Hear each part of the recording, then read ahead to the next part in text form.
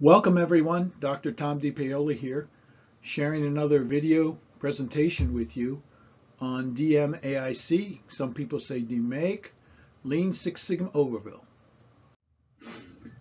Please subscribe to my channel, thank you.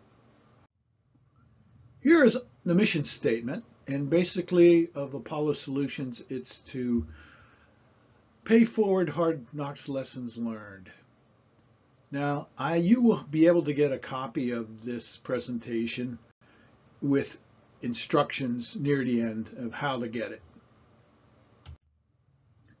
Here's some more of my books on Amazon. I urge you to try them. I think that'd be very helpful. This book will be particularly helpful on DMAIC, Kaizen Creativity, again on Amazon. Here's the title of the presentation,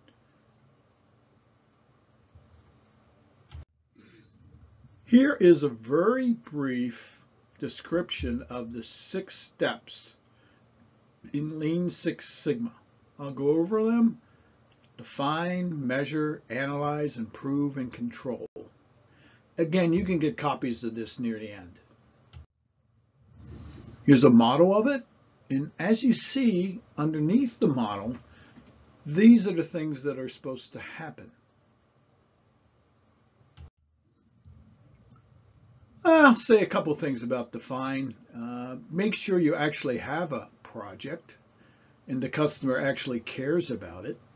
And make sure you take the time to clearly define the problem. Most projects fail in the define phase. Make sure you have a lot of resources to help you and get a, the best people on the team. Commit to getting the job done. Here's some possible outputs from define. Obviously, the problem statement and the scope are actually very critical. Make sure you have a great sponsor. Again, current situation or as is description is critical. Make sure you have a good team charter and the people in the team are dedicated to getting it done. Measure. Here are some of the things you might want to think about in the measure phase. The one that's really difficult is develop the detailed process map. Again, the as-is baseline, I urge you to walk it actually yourself and make sure you experience it. Here's some of the things that you'll get from measure.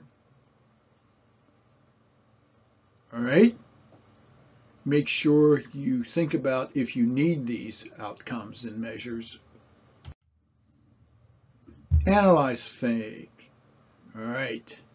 You're looking at the causes here, issues, and opportunities. What I urge you to do is to make sure you develop a great picture and seek to understand it.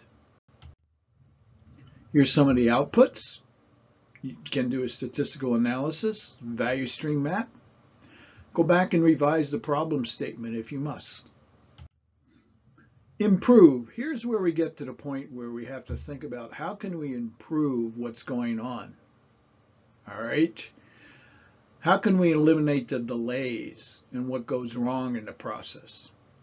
You possibly can conduct a small pilot and think about what happens. Here's some of the things you could get from Improve.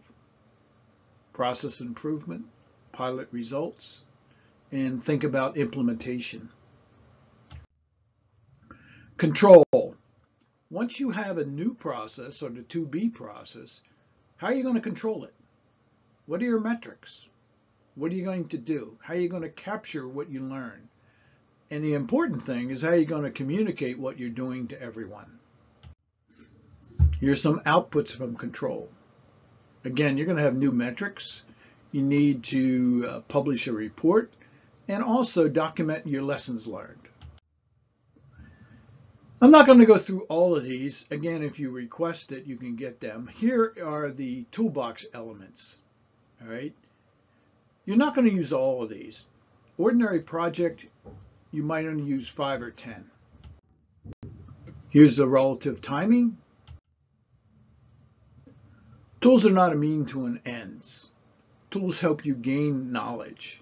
The process is a disciplined method to drive questions and to find out what's really going on.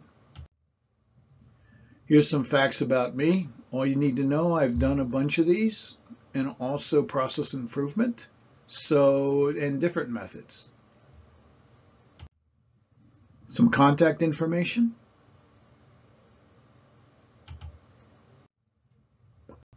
Here is what I call my Hard Knocks MBA books. Again, here's the book, Kaizen Creativity, that will help you. Please subscribe to my channel. Thanks much for your patience. Hope you enjoyed my advice. Thank you very much for your time. I know it's precious. If you have any questions, here are the two email addresses that you can get copies of this presentation from. Thomas DePaoli at yahoo.com drtomd at gmail.com, and here's my website.